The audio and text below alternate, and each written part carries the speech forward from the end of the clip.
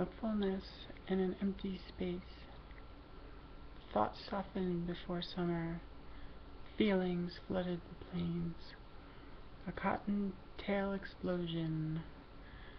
Everything's up in the air, immediate, light and easy, accessible hovering around the head. Nocturnes pressed out on a baby grand in some cathedral of light. I prayed all the spinal locks be released all at once, pardoned on yawning steps, the forgotten hidden temple made of hillside, lifted our spirits, chanting the souls into silence.